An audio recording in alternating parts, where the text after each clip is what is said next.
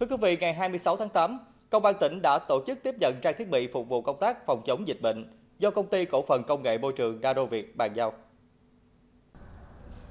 Tại buổi tiếp nhận, đại diện công ty đã bàn giao cho Công an tỉnh 10 bộ thiết bị rửa tay và 200 lít dung dịch rửa tay nano bạc, 1.000 chai dung dịch rửa tay loại nhỏ, tinh dầu khử mùi, đuổi mũi,